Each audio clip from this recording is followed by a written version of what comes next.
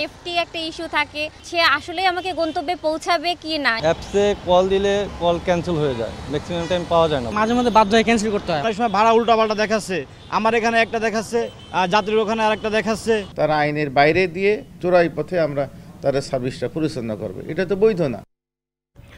Ride sharing app রাজধানীবাসীর চলাচল অনেকটা সহজ করে দিয়েছিল এই অ্যাপটি। কিন্তু এখন তেমনটি আর নেই। গত কয়েক বছরে বাইকারদের অবৈধ বাইকারদের দৌরাত্মে বন্ধ হয়ে গেছে তেরোটি অ্যাপ এবং এই অবৈধ বাইকারদের বিরুদ্ধে নিয়মিত একটি অভিযোগ রয়েছে অবৈধভাবে বাড়তি ভাড়া নেয়ার।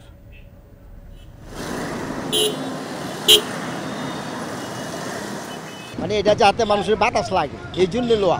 মোটরসাইকেল হেলমেটের মতন লাগে না। কি করব যেতে হবে যেভাবে আছে ওইভাবেই। তো আমাদের দেশে এইভাবে সার্টিফাইড হেলমেট পাওয়া যায় কি না আমি সঠিক জানি না। আমরা প্রথম দিকে সার্ভেলেন্স টিমের মাধ্যমে তাদেরকে সচেতন করার চেষ্টা করেছি। যে সকল কোম্পানি এখনও আমাদের কথা শুনেনি সেক্ষেত্রে আমরা ইতিমধ্যে মোবাইল কোডের কার্যক্রম শুরু করেছি।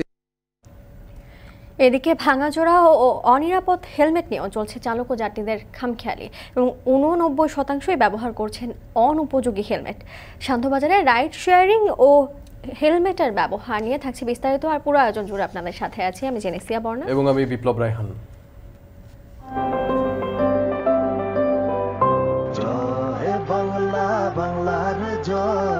দেশে একটা স্থিতিশীলতা চলছে যত এর মাঝে আমাদের প্রাকৃতিক দুর্যোগ, মনুষ্য সৃষ্ট দুর্যোগ, অগ্নি সন্ত্রাস, অনেক কিছুই মোকাবেলা করতে হয়েছে। কিন্তু তারপরেও কিন্তু বাংলাদেশ এগিয়ে যাচ্ছে। বাংলাদেশের এই অগ্রযাত্রা যেন অব্যাহত থাকে সেটাই আমরা চাই। শেরিবাংলা নগরে নবনির্মিত বিটিআরসি ভবন এবং তথ্য কমিশন ভবনের উদ্বোধন করলেন প্রধানমন্ত্রী। এবং উদ্বোধনে করে তিনি যেটি বলেন যে, স্মার্ট বাংলাদেশ করতে যা যা দরকার, তাই করা হবে। এ নিয়েও থাকছে বিস্তারিত। তবে শুরুতেই রাইড শেয়ারিং প্রসঙ্গ। ব্যাপক চাহিদার কারণে রাজধানীতে অ্যাপের মাধ্যমে বৈধতা পায় রাইড শেয়ারিং সার্ভিস। তবে এখন তা যেন অনিয়ম ও অতিরিক্ত ভাড়ায় রাজপথের ভোগান্তি। বাইকারদের স্বেচ্ছাচারিতায় কয়েক বছরেই বন্ধ হয়ে গেছে সেবা চালু করা তেরোটি রাইড শেয়ারিং মোবাইল অ্যাপ। অবৈধ রাইডারদের দৌরাত্ম কমাতে শিগগিরই ভ্রাম্যমাণ আদালত পরিচালনার আশ্বাস সড়ক পরিবহন কর্তৃপক্ষের। রিজওয়ান বাঁধনের ক্যামেরায় আরও জানাচ্ছেন তানজিম শাফিন। রাজধানী ঢাকার সবচেয়ে বড় সমস্যা হিসেবে চিহ্নিত যানজট। এই যানজটের মধ্যেই নগরের গুরুত্বপূর্ণ পয়েন্টে মোড়ে মোড়ে কখনো রাস্তার অনেকটা অংশ জুড়ে এভাবেই অপেক্ষায় থাকতে দেখা যায় রাইড শেয়ারিং ইচ্ছুক বাইকারদের। রাইড শেয়ারিং সার্ভিস নগরীর জন্য অপরিহার্যতা নাকি যন্ত্রণা? রাইড শেয়ারিং সার্ভিস অ্যাপের বাইরে চলে আসার কারণ? ভাড়া এবং এর শৃঙ্খলা ফেরাতে বাংলাদেশ সড়ক পরিবহন কর্তৃপক্ষের ভূমিকা কী? ঢাকার মতো যানজটের শহরে মোটরসাইকেল বাড়ছে হু হু করে। ব্যক্তিগত বাইকার ছাড়াও রাইড শেয়ারিং এর অন্যতম কারণ। ঘণ্টার পর ঘণ্টা রাস্তায় বসে থাকা এড়াতে রাইড শেয়ারিং পরিষেবা লুফে নেয় এ শহরের কর্মজীবী মানুষ। আমি যদি বাসে যাই বা সিএনজি যাই বর্তমানে যে জ্যামের অবস্থা আমার মনে করেন দুই তিন ঘণ্টা জ্যামে বসে থাকতে হবে। সেজন্য আমার একটু বেশি হচ্ছে কিন্তু আমার তাড়াতাড়ি যেতে হবে সেজন্য কিছু করার নেই আর কি। তবে করোনা মহামারীর পর অনেক বেকারের হাত ধরে ভাড়ায় চলা যানবাহনের রূপ নেয় মোটর বাইক প্রখর রোদ বা ঝড় বৃষ্টিতেও পেশাগত জায়গার মতোই এখন নগর জুড়ে চলে দুই চাকার জীবিকা। বৃষ্টিতে একটু যাত্রী কম হয় এই টাইমটা সিএনজিতে বেশি হয় আমাদের কম হয়। আর রোদ্রে সময় একটু যাত্রী পাওয়া যায় বেশি, কারণ ওই সময় রাস্তার জামজট থাকে। আজকে আমার তেরোশো টাকা লাগবে বা পনেরোশো টাকা লাগবে। তখন দেখা যায় এটা চারটার সময় হয়ে গেল, ওই সময় দেখা যায় আমার এনার্জি নাই, আমি বাসা চলে গেলাম। আজকে জায়গায় হচ্ছে না, আমি রাতের একটা পর্যন্ত থাকতে হয়। সারা দেশে মোট নিবন্ধিত মোটরসাইকেল একচল্লিশ লক্ষ সাতাশি হাজার ছয়শো ছিয়ানব্বই। এর মধ্যে ঢাকায় নিবন্ধিত মোটরসাইকেল প্রায় আট লাখ, ঢাকার বাইরে নিবন্ধিত অনিবন্ধিত মিলে দশ লাখের বেশি মোটরসাইকেল চলাচল করছে রাজধানীতে। এই বিপুল সংখ্যক মোটরসাইকেলের একটা বড় অংশ নিয়মিত ও খণ্ডকালীনভাবে দিয়ে থাকে রাইড শেয়ারিং সেবা। বিভিন্ন রাইড শেয়ারিং অ্যাপে নিবন্ধিত রয়েছে অন্তত দুই লাখ বাইক। বাংলাদেশের রাইড শেয়ার সার্ভিসের সূচনা দুই হাজার ষোলো সালে। এরপর ব্যাপক চাহিদার পরিপ্রেক্ষিতে বিআরটিএ প্রণয়ন করে রাইড শেয়ারিং নীতিমালা দুই হাজার সতেরো। বিআরটিএ নীতিমালায় বলা আছে, বাইক ও চালকের সব তথ্য নিবন্ধিত থাকতে হবে অ্যাপে। নিবন্ধন থাকে যাত্রীর তথ্য। মোটরযানে থাকতে হবে জরুরি সেবার ট্রিপল নাইনের স্টিকার ও এসওএস সুবিধা, যাতে নিশ্চিত হয় চালক ও সেবাগ্রহীতার নিরাপত্তা। সে আসলে আমাকে গন্তব্যে পৌঁছাবে কি না, সে বিষয়ে আসলে একটা তো বাধা থেকেই যায় একটা আমাদের হচ্ছে সেফটির ইস্যু থাকছে এখানে। তাছাড়াও এখানে তার তো কোনো আমাদের ডেটা আমাদের কাছে থাকছে না। বা পরে আমরা প্রয়োজনে তাদের সাথে যোগাযোগ করারও আর সম্ভব হচ্ছে না। তো এক্ষেত্রে আমরা একটু আনসেফ ফেল করি। অ্যাপসে কল দিলে কল ক্যান্সেল হয়ে যায়। ম্যাক্সিমাম টাইম পাওয়া যায় না। বাইকাররা অবৈধভাবে অতিরিক্ত ভাড়ায় যাত্রী নিচ্ছে অহরহ। রাইডাররা বলছেন তাদের ব্যক্তিগতভাবে রাইড দেবার কারণ অ্যাপ কর্তৃপক্ষের হেয়ালি। কিছু সমস্যার সমাধান হলে অ্যাপে রাইড শেয়ার করাই তাদের জন্য সুবিধাজনক। আমি এই রুটে আছি আমাকে দিয়েছে এখন ফার্ম গেটে। হ্যাঁ ফার্ম গেটে আনন্দ সিনেমা হলে আমি তো ওখানে যাইতে পারব না। আমাকে ঘুরে আসতে হবে বাংলা মোটর হয়ে ঘুরে আসতে হবে অথবা এখানে রং মারতে হবে। অনেক সময় ভাড়া উল্টাপাল্টা দেখাচ্ছে আমার এখানে একটা দেখাচ্ছে যাত্রীর ওখানে আর একটা দেখাচ্ছে বিভিন্ন সমস্যা দেখাচ্ছে। আর মেইন হচ্ছে সমস্যাগুলো কলগুলো অনেক দূর থেকে আসতেছে। এইসব মেইন সমস্যা। আর একটু উনিশ থেকে বিশ হলেই সাসপেন্ড করতে চাইনি আমরা এক সময় মামলা দিই অনেকে আবার মামলা দিতে গিয়েও আমরা আবার স্যাক্রিফাইস করি। এই ধরনের। অনেকে তো দেখছেন গাড়ি গড়ি পুরাই দিচ্ছে। একশো টাকা ভাড়া মারলে ঠিক আছে যদি পনেরো টাকায় ওনারাই নিয়ে যায় তাহলে আমরা কীভাবে মারবো? তেল খরচ মোবিলের দাম বাড়ছে তেলের দাম বাড়ছে সব কিছুর দাম বাড়ছে পার্সেল এক্সপায়ারের দামও বাড়ছে। কোনো রাইডার অ্যাপের বাইরে ভাড়ায় যাত্রী পরিবহন করতে পারবেন না। একজন রাইডার নিবন্ধিত থাকবেন একটি মাত্র অ্যাপে। এসব নিয়মের তোয়াক্কা না করেই কমেছে অ্যাপের সংখ্যা। বিআরটিএতে রাইড শেয়ারিং সার্ভিসে পিকমি, ওভাই, বাডি, সহজ যাত্রী সার্ভিস লিমিটেড সহ পনেরোটি প্রতিষ্ঠান নিবন্ধন করলেও পাঠাও ও উবার ব্যতীত কোনো প্রতিষ্ঠানই লাইসেন্স পুনর্নবায়ন করেনি বা বন্ধ করে দিয়েছে কার্যক্রম। সক্রিয় প্রতিষ্ঠান বলছে, রাইডার ও গ্রাহকের সমান সুযোগ নিশ্চিত করছেন তারা। আমরা সবচেয়ে লোয়েস্ট কমিশন নিচ্ছি মার্কেট থেকে। সো আমাদের রাইডারদের একটা দাবি ছিল সবসময় যে আমরা বেশি টাকা কমিশন নেই বা পঁচিশ পার্সেন্ট কমিশন নেই, সেটা কিন্তু আমরা এখন লোয়েস্ট নিচ্ছি যেটা পনেরো পার্সেন্ট আমাদের ইউজার এবং রাইডার দুজনেরই আসলে একটা সিমলেস যেন এক্সপিরিয়েন্স থাকে। সো ধরেন আপনি একজন ইউজার হিসেবে একটা রাইডারকে যাতে করে আপনি এনে তাকে হ্যারাস না করেন, অথবা একটা রাইডারও যেন একটা ইউজারকে হ্যারাস না করে। বাংলাদেশ সড়ক পরিবহন কর্তৃপক্ষ বলছে, অ্যাপের বাইরে থাকা সকল বাইকার ও নিবন্ধন নবায়ন না করা সব প্রতিষ্ঠানই সেবা প্রদানে অবৈধ। এখন টিভিকে জানালেন, এমন বিশৃঙ্খলা কমাতে শিগগিরই মাঠে নামবে ভ্রাম্যমাণ আদালত।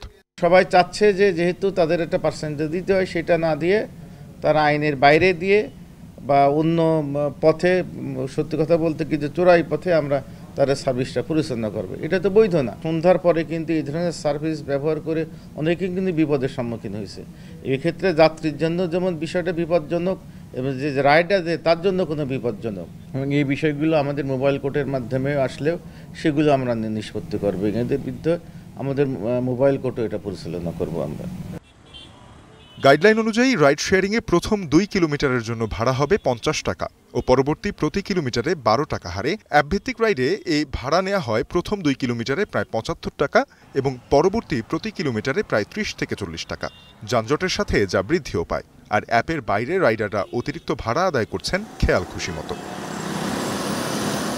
তানজিম শাফিন, এখন ঢাকা।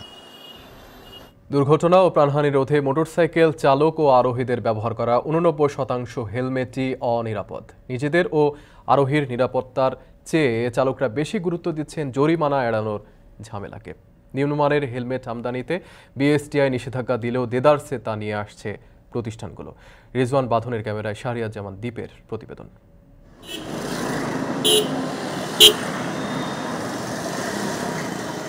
সড়কে বের হলেই চোখে পড়বে মোটরসাইকেলের দৌরাত্ম্য মাত্র কয়েক বছরের ব্যবধানে নিবন্ধিত মোটরসাইকেলের সংখ্যা ছাড়িয়েছে একচল্লিশ লাখ। তবে যে হারে মোটরসাইকেল বেড়েছে, সে হারে বাড়েনি হেলমেটের ব্যবহার। একটা সময় ছিল যখন মোটরসাইকেল ব্যবহারকারীরা হেলমেট ব্যবহার করতেন না। কেউ বা ব্যবহার করলেও সেটি স্টাইলের জন্য। কিন্তু দু হাজার আঠারো সালের সড়ক পরিবহন আইনে কারাদণ্ড এবং জরিমানার বিধানের পর হেলমেট ব্যবহার করতে শুরু করেছেন অনেকে। পরিবর্তন এসেছে মোটরসাইকেল ব্যবহারকারীদের হেলমেট ব্যবহারের। তবে কমেনি স্থায়ী পঙ্গুত্বের হার এবং দুর্ঘটনা।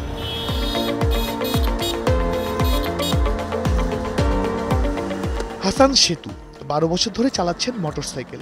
ঘুরে বেরিয়েছেন বাংলাদেশের বিভিন্ন জায়গায়। শখের বসে শুরু করলেও বর্তমানে পেশা হিসেবেও বেছে নিয়েছেন মোটরসাইকেল চালানো। গত দশ বছরে নিজের চোখের সামনে ঘটে যাওয়া বেশ কয়েকটি দুর্ঘটনার বর্ণনা দিয়ে বলেন, জরিমানা থেকে বাঁচার জন্য হেলমেট না পরে নিজের জীবনকে বাঁচানোর জন্য ভালো মানের হেলমেট পরা উচিত। কারণ একটি ভালো মানের হেলমেট বাঁচিয়ে দিতে পারে অনেক বড় দুর্ঘটনা থেকে। যে অ্যাজ ইউজুয়াল রেগুলার প্লাস্টিক দিয়ে ক্রিয়েট করা একটা পোর্শন যদি আপনি মাথায় পড়েন, ওইটা কিন্তু আপনাকে সেফটি দিবে না। আপনার এই সেফটি সার্টিফিকেশন দেয়া আছে এমন হেলমেটগুলাই ব্যবহার করা উচিত।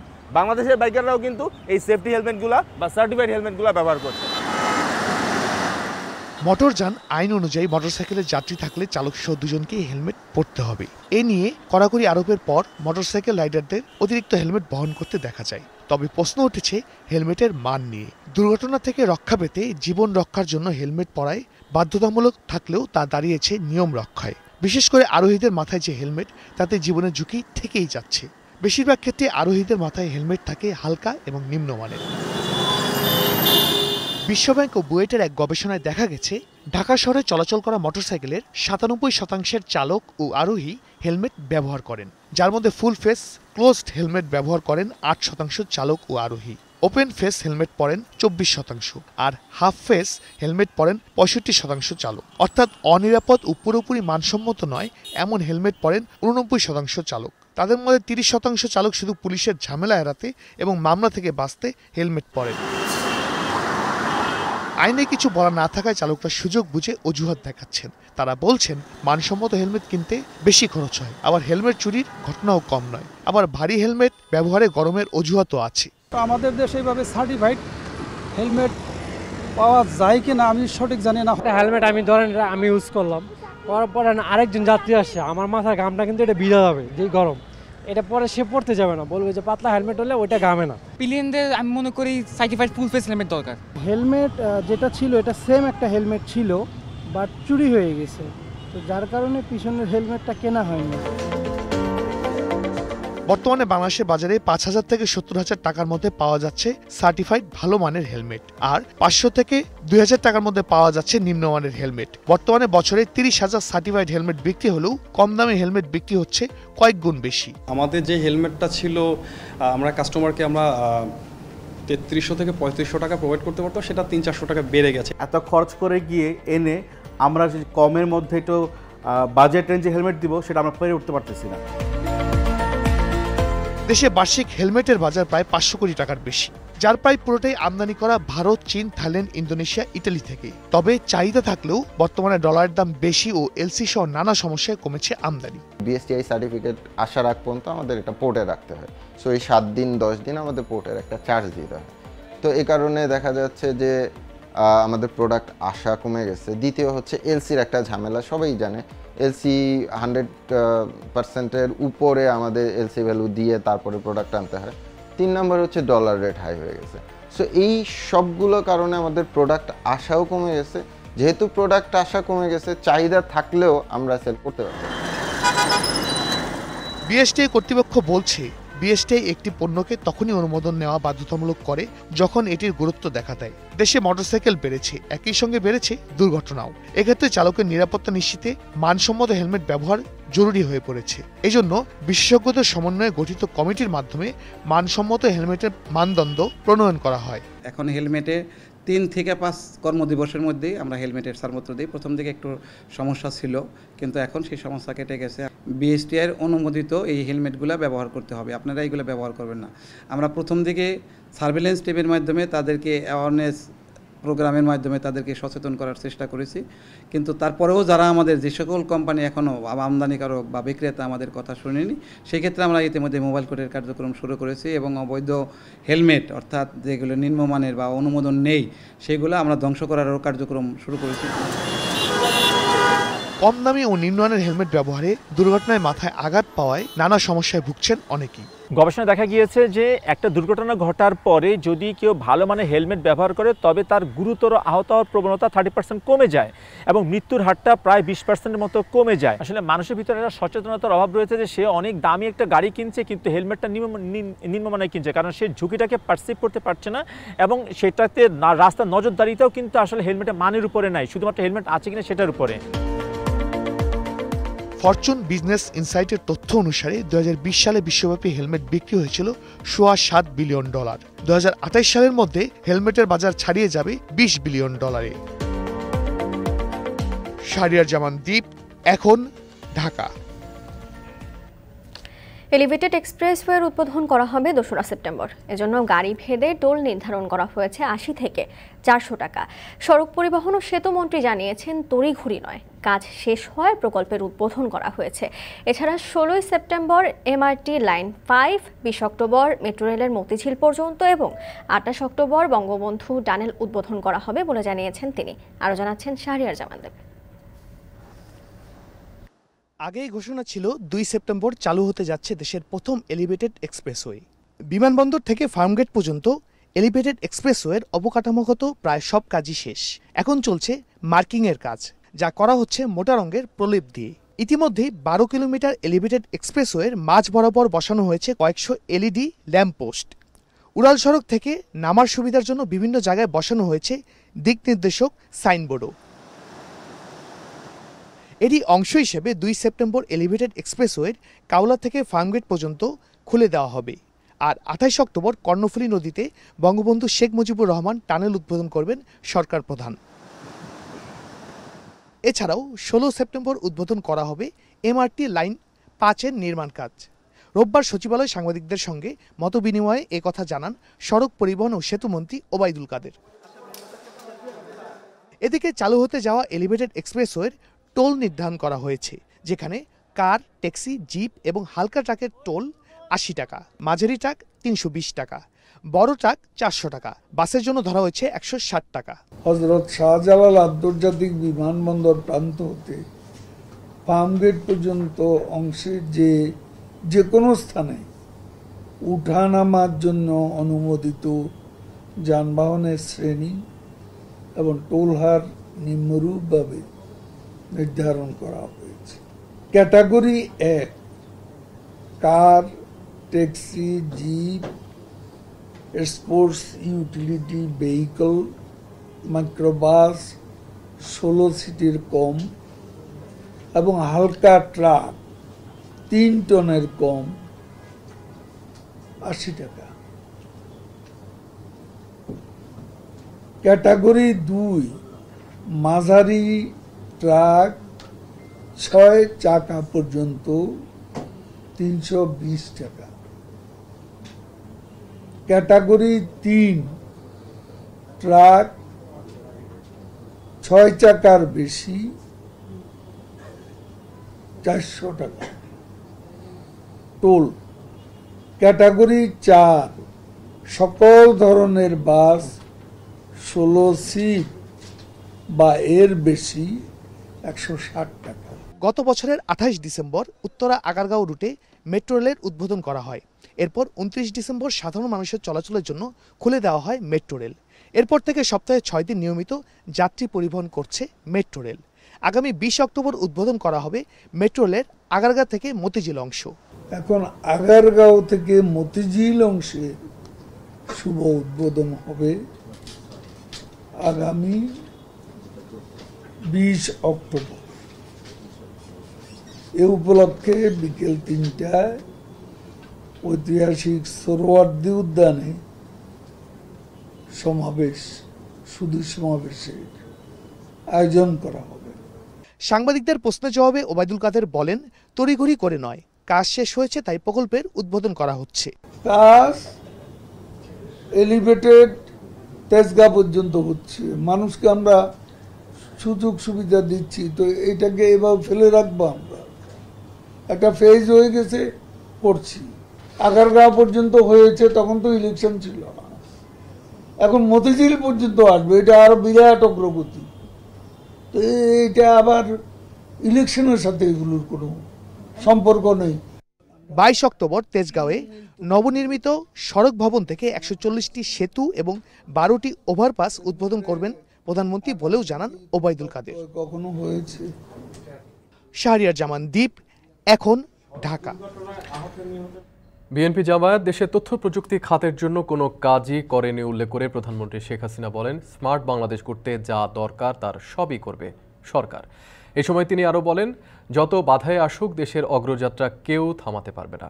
সকালে গণভবন থেকে ভার্চুয়ালি যুক্ত হয়ে শেরিবাংলা নগরে নবনির্মিত বিটিআরসি ভবন ও তথ্য কমিশন ভবন উদ্বোধন এবং বিএফডিসি কমপ্লেক্সের ভিত্তিপ্রস্তর স্থাপন করেন প্রধানমন্ত্রী। আরও জানাচ্ছেন দেবরাজ দেব।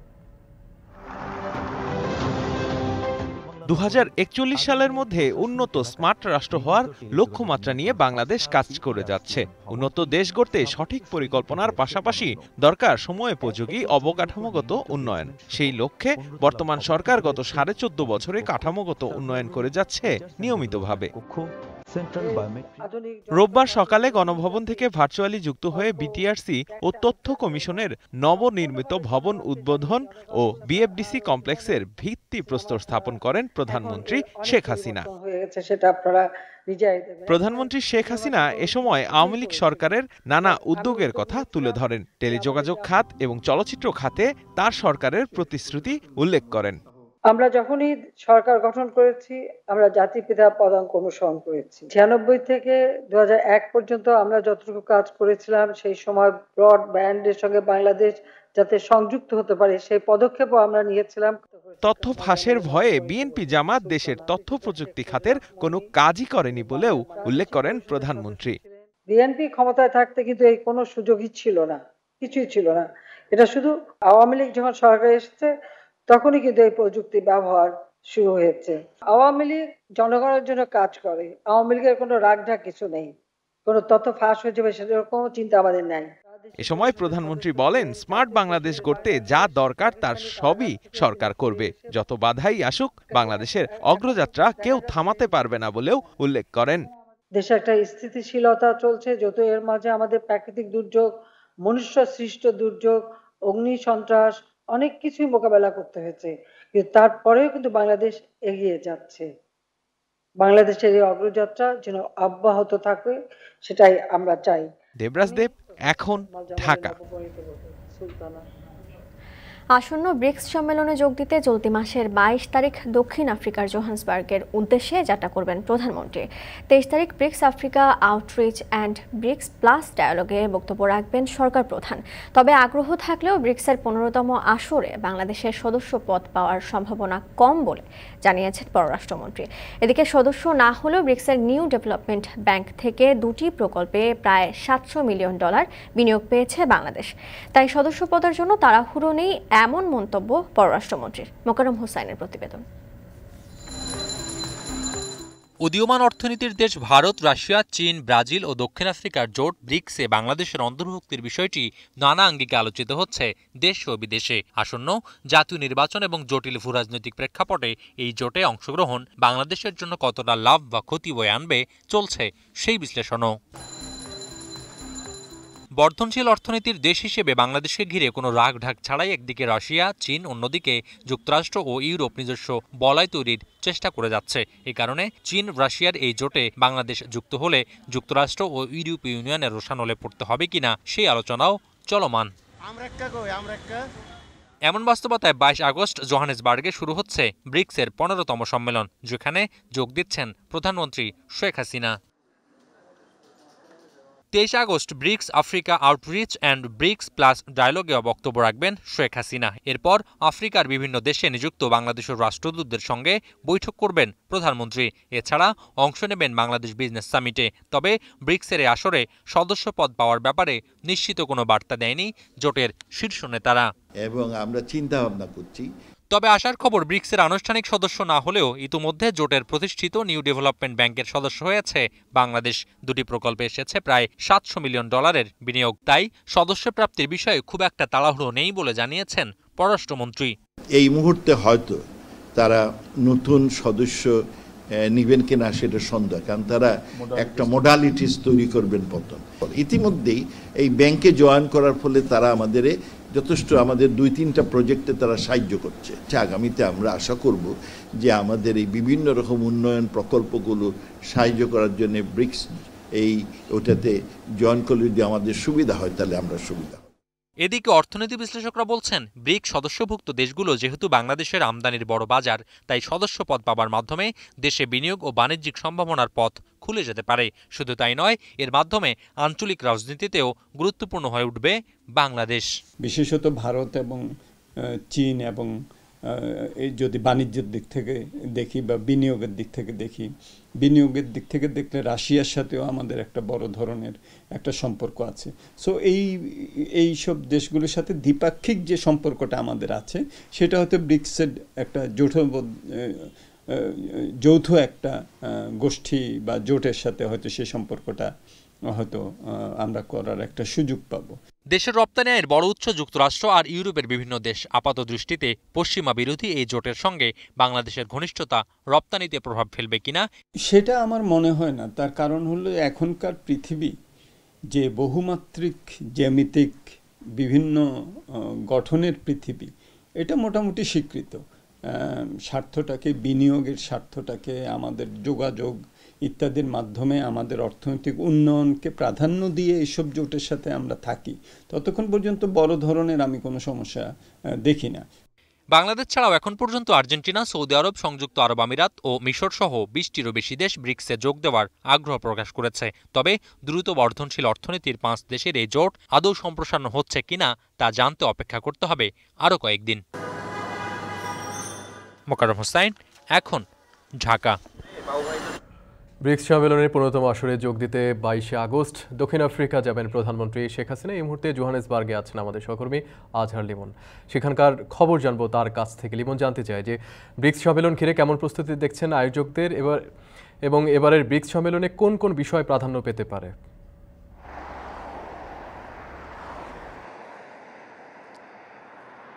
বিপ্লব, এবারের ব্রিক্স সম্মেলনটি অনুষ্ঠিত হবে জোহানেসবার্গে। আমরা জোহানেসবার্গেই আছি। এ নিয়ে আয়োজকদের কিন্তু ব্যাপক প্রস্তুতি। জানেন যে এবারের ব্রিক্স সম্মেলনে আমরা যতটা খোঁজ নিয়েছি যে চীনের রাষ্ট্রপতি শি জিনপিং, উনি এখানে যোগ দেবেন। ব্রাজিলের রাষ্ট্রপতি যোগ দেবেন। রাশিয়ার যিনি রাষ্ট্রপতি, উনি আসলে ভার্চুয়ালি যোগ দেবেন এবং ভারতের প্রধানমন্ত্রী নরেন্দ্র মোদীও কিন্তু আসবেন এবং এই পাঁচ দেশের যে শীর্ষ অর্থ, অর্থনৈতিক জোট যেটি নিয়ে অনেক আলোচনা হচ্ছে, যেটি পশ্চিমাদের যে উন্নয়ন মডেল তার বিকল্প অর্থনৈতিক জোট হিসেবে এই যে পাঁচ দেশের অর্থনৈতিক জোট, এটিতে কিন্তু প্রায় সাতচল্লিশটির বেশি দেশ আমন্ত্রণ পেয়েছে, যেখানে বাংলাদেশের প্রধানমন্ত্রী শেখ হাসিনা কিন্তু আমন্ত্রণ পেয়েছেন। আমরা দেখছি যে এই রাষ্ট্রপ্রধান সরকার প্রধানদের আগমনের জন্য এই সাউথ আফ্রিকা সরকার দক্ষিণ আফ্রিকা সরকার এই জোহানেসবার্গের সার্বিক নিরাপত্তা পরিস্থিতি থেকে শুরু করে সব ধরনের প্রস্তুতি নিয়েছে। এরই মধ্যে ব্রিক্সের যে পনেরোতম আসর, তার একটা কিন্তু সারা সারা সারা কিন্তু এখানে কিন্তু পড়েছে। আমরা দেখছি যে ব্রিক্সের অধীনে এরই মধ্যে যে অংশগ্রহণকারী যে দেশগুলো রয়েছে সেই দেশগুলোর কিন্তু এখানে প্রদর্শনী হচ্ছে বিভিন্ন পণ্যের এবং রাষ্ট্রপ্রধান, সরকার প্রধানরা যে সমস্ত হোটেলগুলোতে থাকবে, সফরকালীন যে সমস্ত আবাসে থাকবে, সেগুলো কিন্তু কড়া নিরাপত্তা ব্যবস্থা গ্রহণ করা হয়েছে। জানিয়ে রাখি যে বিভিন্ন দেশ থেকে যেহেতু সারা পৃথিবীর একটা আকর্ষণের কেন্দ্রবিন্দু হয়ে হয়ে উঠেছে এই ব্রিক্স নানান আগ্রহের জায়গা থেকে বিভিন্ন দেশ থেকে সাংবাদিকরাও আসছেন এবং হোটেল রেজিস্ট্রেশন ব্লু থেকে কিন্তু তারা ব্যাচ গ্রহণ করছেন। আলোচনার বিষয় যেটি আমরা দেখছি, বিশেষ করে নতুন সদস্য নেওয়ার বিষয়টি, তো নতুন প্রায় তেইশটি দেশ কিন্তু ব্রিক্সে সদস্য হওয়ার জন্য আবেদন করেছে, যেখানে কিন্তু বাংলাদেশও রয়েছে। বাংলাদেশের ক্ষেত্রে যেটি পররাষ্ট্রমন্ত্রী আজ ব্রিফিংয়েও বলেছেন, আমরা এখানকার কর্মকর্তাদের সঙ্গে আলাপ আলোচনা করছি। সেখানে এবারই বাংলাদেশ সদস্য হতে পারছে কিনা, এটি আসলে প্রতিষ্ঠাতা যে দেশগুলো রয়েছে, তাদের শীর্ষ সম্মেলনের পর, তাদের সিদ্ধান্ত গ্রহণের পর আনুষ্ঠানিকভাবে জানা যাবে। তবে যেহেতু প্রধানমন্ত্রী এখানে আসছেন এবং নানান ধরনের দ্বিপক্ষীয় এবং অর্থনৈতিক নানান ফোরামে অংশ নেবেন সেই দিক থেকেও কিন্তু নানা ধরনের প্রত্যাশা করা হচ্ছে, নানান অর্জনের। বিশেষ করে জানিয়ে রাখি যে, বাইশ তারিখ রাতে প্রধানমন্ত্রী জোহানেসবার্গের মাটিতে নামবেন। এরপর তেইশ তারিখ থেকে কিন্তু তার ব্যস্ত কর্মসূচি শুরু হয়েছে। তেইশ তারিখে আমরা দেখেছি যে, ওনার কর্মসূচিটা শুরু হচ্ছে এই জোহানেসবার্গের যারা বিনিয়োগকারী রয়েছেন, ব্যবসায়ীদের রয়েছেন, তাদের সঙ্গে বাংলাদেশের যে আর্থিক প্রতিষ্ঠানগুলো রয়েছে, বিনিয়োগ প্রতিষ্ঠানগুলো রয়েছে, তাদের ফোরামের মধ্য দিয়ে, সেই অর্থনৈতিক ফোরামের পরের দিন চব্বিশ তারিখ কিন্তু ব্রিক্সের সম্মেলনে উনি যোগ দেবেন এবং সেদিন আমরা যেটি জানতে পেরেছি যে চীনের রাষ্ট্রপতি সাউথ আফ্রিকার রাষ্ট্রপতি এবং ব্রাজিলের রাষ্ট্রপতির সঙ্গে কিন্তু ওনার দ্বিপক্ষীয় বৈঠক রয়েছে। আশা করা হচ্ছে সেখানে বাংলাদেশের জন্য বিনিয়োগ বাণিজ্য সম্ভাবনার অনেক অনেক কিছু প্রধানমন্ত্রী হয়তো আদায় করে নিতে পারবেন। তো বিপ্লব, এই ছিল জোহানেসবার্গ থেকে আমার কাছে থাকা সবশেষ পনেরোতম ব্রিক্স সম্মেলনে যোগ দিতে বাইশে আগস্ট দক্ষিণ আফ্রিকার জোহানেসবার্গে যাচ্ছেন প্রধানমন্ত্রী শেখ হাসিনা। সেখানকার প্রস্তুতি নিয়ে জানছিলাম সহকর্মী আজহার লিমনের মাধ্যমে। এক বছরে চট্টগ্রাম বন্দর দিয়ে রপ্তানির আড়ালে অর্থ পাচার ধরা পড়েছে পাঁচশো কোটি টাকার বেশি। এমন অবস্থায় রপ্তানি পণ্যের নমুনা পরীক্ষায় কড়াকড়ি আরোপ করেছে চট্টগ্রাম কাস্টমস হাউস। পণ্য যদি কম বা বেশি পাওয়া যায় তাহলে সেই ক্ষেত্রে মানি লন্ডারিং আইন অনুযায়ী প্রয়োজনীয় কার্যক্রম গ্রহণ করার জন্য নির্দেশনা প্রদান করা হয়েছে। জাল জালিয়াতি রোধ করা দরকার। কিন্তু এমন কোনো পদ্ধতি তাদেরকে এস্টাবলিশ করতে হবে যা ওনারা যা কিছু করবেন র্যান্ডম বেসিস করবেন সবাইকে কষ্ট দেওয়া যাবে না। আপনার ইকুইপমেন্ট নাই তাহলে আপনি ওজন করতে গিয়ে আপনি যদি আমার ভেসেল মিস করান এটার দায় দায়িত্ব কে নিবে? এ নিয়ে প্রতিবেদন থাকছে কিছুক্ষণ পর। সান্ধ্যবাজারে নিচ্ছে বিরতি। ফিরছি একটু পরে।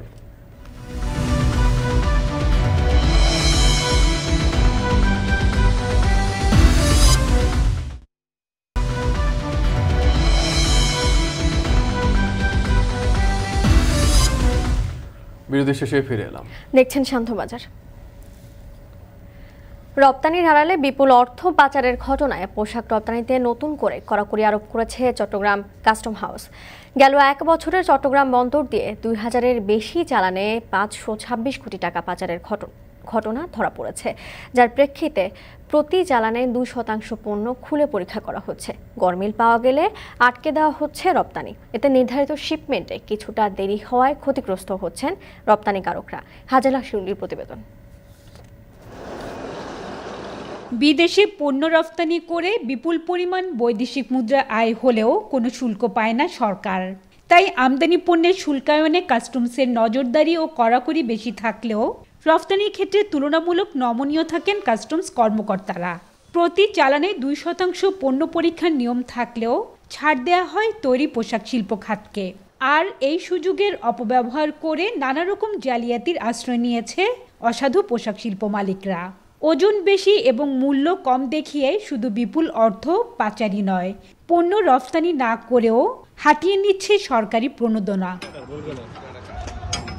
গত আঠারো জুলাই এমন চারশো বিয়াল্লিশটি চালানে একশো সাতচল্লিশ কোটি টাকা ও তার আগে গত এক বছরে এক হাজার সাতশো আশি চালানে তিনশো বিরাশি কোটি টাকা পাচারের প্রমাণ পায় শুল্ক গোয়েন্দা তদন্ত অধিদপ্তর। সব মিলে দু হাজার দুইশো চালানে পাঁচশো ছাব্বিশ কোটি টাকা অর্থ পাচার হয়েছে, যার বেশিরভাগই হয়েছে দুবাই সহ মধ্যপ্রাচ্যের দেশগুলোতে। একের পর এক জালিয়াতির ঘটনা উদ্ঘাটনের পর টনক নড়েছে কাস্টমস কর্তৃপক্ষের। বর্তমানে তৈরি পোশাক শিল্পের প্রায় প্রতিটি চালানি নিয়ম মেনে খুলে পরীক্ষা করা হচ্ছে। এতে অনেক চালানি ঘোষণার চেয়ে ওজন কম পাওয়া যাচ্ছে। যে পণ্য ঘোষণা দিচ্ছেন বিল অফ এক্সপোর্টের ক্ষেত্রে, কিন্তু প্রকৃতপক্ষে পণ্য যদি কম বা বেশি পাওয়া যায়, তাহলে সেই ক্ষেত্রে কাস্টমস আইন অনুযায়ী ব্যবস্থা গ্রহণ সহ কোনো ধরনের মানি লন্ডারিংয়ের ইস্যু যদি থাকে, তাহলে সেক্ষেত্রে মানি লন্ডারিং আইন অনুযায়ী প্রয়োজনীয় আইনানুগ কার্যক্রম গ্রহণ করার জন্য নির্দেশনা প্রদান করা হয়েছে। দেশের রফতানির প্রায় আশি শতাংশই হয় পোশাক খাতে। বিপুলে পণ্য পরীক্ষায় সময় লাগছে বেশি। তাই যথাসময়ে রফতানি পণ্য জাহাজীকরণ সম্ভব হচ্ছে না। এক্ষেত্রে পরিমাপের পদ্ধতি সঠিক নয় দাবি করে জটিলতা নিরসনে চট্টগ্রাম কাস্টমস হাউজের কমিশনারকে চিঠিও দিয়েছে। তৈরি পোশাক শিল্প মালিকদের সংগঠন বিজিএমইএ। আপনার তো লোকবল নাই, আপনার ইকুইপমেন্ট নাই। তাহলে আপনি ওজন করতে গিয়ে আপনি যদি আমার ভেসেল মিস করান, এটার দায় দায়িত্ব কে নিবে? সেটাই আমরা বলি, আমরা কিন্তু ওজনের বিপক্ষে নই। এবং কাস্টম কর্তৃপক্ষকে বলেছি, আপনারা যে প্রক্রিয়ায় ওজন করেন, সেই প্রক্রিয়ায় আমাকে করতে হবে। আমি যদি অন টাইমে মাল শিপমেন্ট না করি, বাংলাদেশে তো অর্ডার আসবে না। সেই জন্য আমি অনুরোধ করব এই ক্রাইসিস পিরিয়ডে কাস্টম কর্তৃপক্ষ যেন সঠিকভাবে বাস্তবিক একটা প্রক্রিয়া শুরু করে। করতে হবে। আমি যদি অন টাইমে মাল শিপমেন্ট না করি বাংলাদেশে তো অর্ডার আসবে না। সেই জন্য আমি অনুরোধ করব এই ক্রাইসিস পিরিয়ডে কাস্টম কর্তৃপক্ষ যেন সঠিকভাবে বাস্তবিক একটা প্রক্রিয়া শুরু করে। এক্ষেত্রে দ্রুত পরীক্ষা সম্পন্ন করতে, অবডকগুলোতে জনবল বাড়ানো এবং রফতানি সচল রাখতে সুনির্দিষ্ট নীতি প্রণয়নের আহ্বান সিএনডিএফ এজেন্টদের অবশ্যই জাল জালিয়াতি রোধ করা দরকার। কিন্তু এমন কোনো পদ্ধতি তাদেরকে এস্টাবলিশ করতে হবে যাতে যারা সঠিকভাবে রপ্তানি পণ্য রপ্তানি করছেন, দেশের জন্য বৈদেশিক মুদ্রা অর্জন করছেন, তাদের যাত্রাকে, তাদের বিজনেস প্রসিডিউরকে খুব স্মুথ করতে হবে। এবং সেই স্মুথ করার জন্য ওনারা যা কিছু করবেন র্যান্ডম বেসিস করবেন, সবাইকে কষ্ট দেওয়া যাবে না, রপ্তানিকে হ্যাম্পার করা যাবে না। গেল বছরে তৈরি পোশাক রফতানি করে ছেচল্লিশ বিলিয়ন ডলার আয় করেছে বাংলাদেশ। এক্ষেত্রে মধ্যপ্রাচ্যের বিভিন্ন দেশকে সম্ভাবনাময় বাজার হিসেবে ধরা হচ্ছে। কিন্তু রফতানির আড়ালে অর্থ পাচারের ঘটনা ভিন্ন ইঙ্গিত বহন করছে বলে মনে করেন কাস্টমস কর্মকর্তারা। হাজিরার শিউলে, এখন চট্টগ্রাম।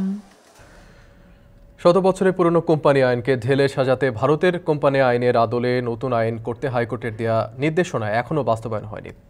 বাণিজ্য মন্ত্রণালয়কে দেয়া উচ্চ আদালতের চোদ্দ দফা পরামর্শ এড়িয়ে যাচ্ছে মন্ত্রণালয়। নতুন আইনে কোনো কোম্পানি পনেরো কোটি টাকার বেশি মুনাফা করলে তা খরচ করতে হবে সামাজিক দায়বদ্ধতা খাতে। যদিও বাণিজ্যমন্ত্রী জানিয়েছেন, শিগগিরই মন্ত্রিপরিষদ বৈঠকে সংশোধিত আইনের খসড়া অনুমোদনের জন্য উপস্থাপন করা হবে। আরও জানাচ্ছেন ইব্রাহিম পাঠান। কোম্পানির আওতায় ব্যবসা পরিচালনা করতে মানবিক বুদ্ধিমত্তার দরকার হলেও কোম্পানি নিজেই একটি কৃত্রিম সত্তা। আইনে যার আলাদা অস্তিত্ব আছে। এর সদস্য বা পরিচালক জীবন্ত না থাকলেও শত শত বছর বেঁচে থাকে কোম্পানি। অর্থনীতির প্রয়োজন আর ব্যবসা সহজীকরণে উন্নত বিশ্বের নিয়মিত কোম্পানি আইনের সংশোধন হয়। দু হাজার বাইশ সালের পঁচিশে আগস্ট বিচারপতি আশরাফুল কামাল কোম্পানি সংক্রান্ত মামলার রায়ে উল্লেখ করেন, বাংলাদেশে ব্যবহার করা উনিশশো চুরানব্বই সালের কোম্পানি আইনটিতে ঔপনিবেশিক আমলের অনেক ধারা রয়ে গেছে যা বর্তমান সময়ে ব্যবহারের অনুপযোগী। তৈরি হচ্ছে অনাকাঙ্ক্ষিত অনেক বিরোধ, অথচ সতেরো কোটি জনসংখ্যার দেশে কয়েক লক্ষ প্রাইভেট ও পাবলিক লিমিটেড কোম্পানির জন্য আছে মাত্র একটি আদালত। এমন নানা সংকট দূর করতে উচ্চ আদালত বলেন, আধুনিক ও উন্নত বিশ্বের আদলে কোম্পানি আইনকে ঢেলে না সাজালে উন্নত বিশ্বের পর্যায়ে উঠতে অনেক সময় লেগে যাবে। বিচারপতি আশরাফুল কামাল তার পূর্ণাঙ্গ রায়ে চোদ্দ দফা নির্দেশনা দেন। নির্দেশনায় ভারতের কোম্পানি আইনের আদলে বাংলাদেশের কোম্পানি আইনকে সংশোধন করা, প্রতিটি জেলায় কোম্পানি সংখ্যার অনুপাতে এক বা একাধিক কোম্পানি আইনের ট্রাইব্যুনাল গঠন, কোম্পানির নিবন্ধন ও নিয়ন্ত্রক প্রতিষ্ঠান আরজেসিকে আরও শক্তিশালী করা, পরিশোধিত মূলধন পাঁচ কোটি টাকার উপরে হলেই সার্বক্ষণিক কোম্পানি সচিব নিয়োগ, নিরীক্ষা ব্যবস্থাকে শক্তিশালী করা সহ বিভিন্ন গুরুত্বপূর্ণ সংযোজনী রয়েছে। কোম্পানি আইনকে যুগোপযোগী করতে অংশীজনরাও দীর্ঘদিন ধরে পরামর্শ দিয়ে আসছেন। ফরেন ইনভেস্টর যখন এখানে আসে যে তোমার, আমার সেফগার্ড কি ইনভেস্টমেন্টের কাছে? তখন ওনারা যখন দেখে যে আমার উনিশশো তেরো সালের কোম্পানি সেক্ট উনিশশো সালে এটাকে করা হয়েছে এই আইনে ইনভেস্টরদেরকে ফরেন ইনভেস্টরদেরকে কোনো সেফগার্ড দিচ্ছে না। দুই হাজার তেরো সালে আপনার ইন্ডিয়ান কোম্পানি সেক্ট নতুন করা হয়। এই কোম্পানি সেক্ট করার পরে তারা প্রায় এক ডজন অ্যামেন্ডমেন্ট করেছে। তেরো সাল থেকে আপনার দুই হাজার তেইশ সাল পর্যন্ত প্রায় বারো চোদ্দোটা অ্যামেন্ডমেন্ট করে ফেলছে। কারণ তারা ব্যবসা সহজীকরণের জন্য যখন যেটা দরকার সেটাকে আপডেট করতেছে। আর আমরা কোথায় উনিশশো তেরো সালে পড়ে আছি? অংশীজনদের প্রত্যাশা ও আদালতের নির্দেশনা অনুযায়ী বাণিজ্য মন্ত্রণালয় আইনের তৃতীয় সংশোধনের খসড়া তৈরি করেছে। সংশোধনী প্রস্তাবে জরিমানা আরোপ সহ আরজেসির ক্ষমতা বাড়ছে, পরিদপ্তর থেকে অধিদপ্তরে রূপান্তর হবে নিয়ন্ত্রক প্রতিষ্ঠানটি। জনস্বার্থ বিরোধী কাজে লিপ্ত থাকলে কোম্পানির নিবন্ধন বাতিল হবে। মৃত সদস্যদের উত্তরাধিকার কোম্পানির সদস্য বা পরিচালক হবেন। ইলেকট্রনিক মাধ্যমে কোম্পানির সভার নোটিশ দেয়া, অন্যান্য যোগাযোগ রক্ষার বিধান যুক্ত হচ্ছে। পনেরো কোটি টাকার বেশি মুনাফা থাকলে সামাজিক দায়বদ্ধতা কমিটি তৈরি করতে হবে। দুই বছরের বেশি কোম্পানির কার্যক্রম বন্ধ থাকলে নিবন্ধন কেটে দেওয়া সহ একগুচ্ছ সংযোজন বা বিয়োজন থাকছে সংশোধনীর খসড়ায়। তবে বিশ্লেষকদের মতে, এসব বিষয়ে ছাড়াও ব্যবসা সহজীকরণে অনেক কিছু এখনও যুক্ত করার বাকি রয়ে গেছে। এখানে একটা রেস্ট্রিকশন দেওয়া আছে যে কোম্পানি সেলফ তার কোনো শেয়ার তারা কিনতে পারবে না। বাট এটা কিন্তু পুরো পৃথিবীতে বিভিন্ন জায়গায় এটা কোম্পানি সেলফ চাইলে সে তার কোম্পানির শেয়ার কিনতে পারবে, সেই অপশনটা কিন্তু আছে। ইভেন আপনি আজকে যে কোনো একটা কোম্পানির অডিটর যিনি অডিট করে, তার উপরেই কিন্তু অনেক ম্যানিপুলেশন বা মিসলিডিং ডিপেন্ড করে। অথচ এই অডিটরের ফাইন এখন পর্যন্ত সেকশন টু হান্ড্রেড এইটিন এবং টু হান্ড্রেড নাইনটিনে এক হাজার টাকা পর্যন্ত আছে। তাহলে এইটা বাস্তবসম্মত না। বাণিজ্যমন্ত্রী সম্প্রতি এক প্রশ্নের উত্তরে জানিয়েছেন, শিগগিরই মন্ত্রিসভায় উঠবে সংশোধনীর খসড়া। আচ্ছা কোম্পানি এটা তো আমাদের তরফ থেকে এটা আমরা ক্যাবিনেটে পাঠিয়েছি। তারা সিদ্ধান্ত নিয়ে জানাবে। আমরা আমাদের প্রপোজাল পাঠিয়েছি। নেক্সট ক্যাবিনেট মিটিং আমরা চেক করব যে এটা কত দূর হলো মন্ত্রিসভায় চূড়ান্ত অনুমোদনের পর জাতীয় সংসদে বিল আকারে পাশ হলে কার্যকর হবে কোম্পানি আইনের তৃতীয় সংশোধনী। ইব্রাহিম পাঠান এখন ঢাকা। সান্ধ্যবাজারের সময় হলো আরও একটি বিরতির। ফিরছে একটু পরে।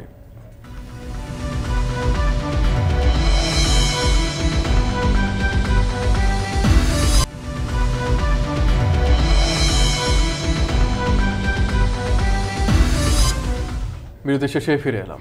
দেখছেন শান্তবাজার।